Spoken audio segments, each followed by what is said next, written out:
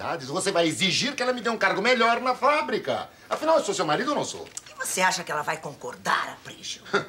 É uma pena se não concordar. Porque se concordasse, em pouco, em pouquíssimo tempo, nós faríamos com que você a substituísse.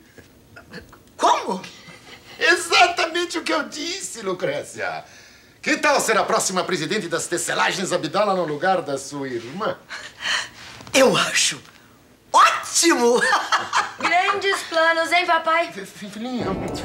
Sabe que eu nunca imaginei que você quisesse trabalhar na fábrica, mamãe? Ah, mas... Eu já estou satisfeita.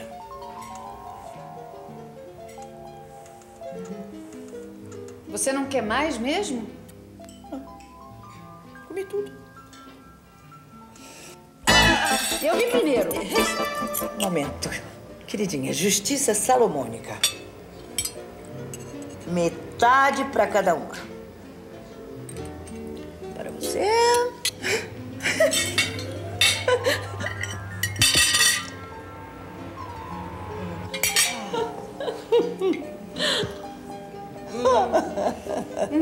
É assim mesmo.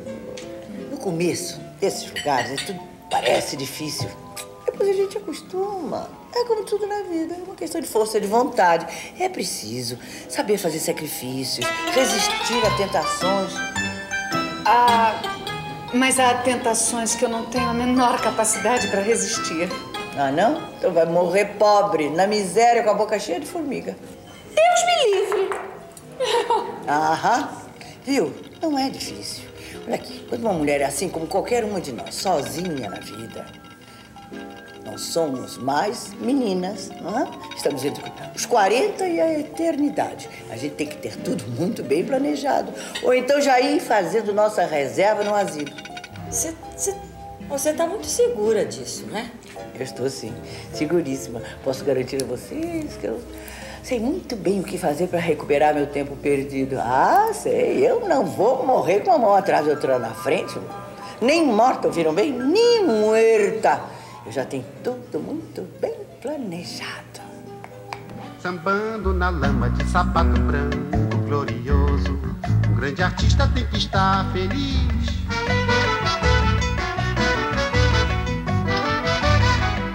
Sambando na lama e salvando o verniz.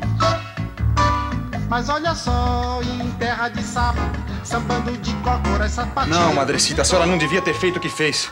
Eu já avisei a senhora mais de mil vezes para não se meter com essa família de desgraçados.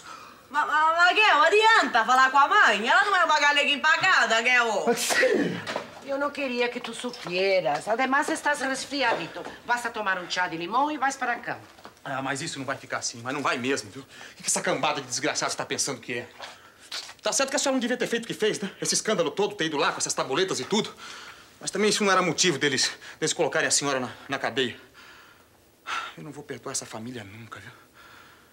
A minha mãe e as minhas irmãs na cadeia. Ah, não, isso foi demais, foi demais! Não te metas nisso, deixa as coisas como estão. Hoje eles vão se ver comigo. Mas, mas onde é que você vai, Guel? Não, você não me segura, tá certo? Não, olha, não me segura, porque hoje eu mato um daqueles da família dos Abdala. Hoje eu mato um. Pero que vas a fazer? Mãe, segura, pega! Você tá escondendo de mim, Varela? Nada. Absolutamente nada. Não tenho nada para esconder de você. Eu estava procurando o testamento de seu pai. Para ver se nele existe alguma cláusula que te dê o direito de me afastar da presidência, como você disse. Nem perca seu tempo. Mesmo que o testamento não te dê esse direito, na sala da presidência você não entra nunca mais. Teodora, você não pode me humilhar dessa maneira, Teodora. Com que cara eu vou ficar lá na fábrica? Com essa mesma cara de banana que você tem. Meu Deus.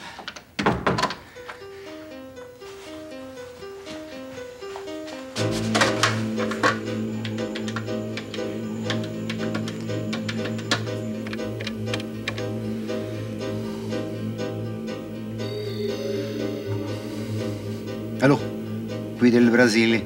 Voglio parlare con il signor Riccardo di Padova. Grazie.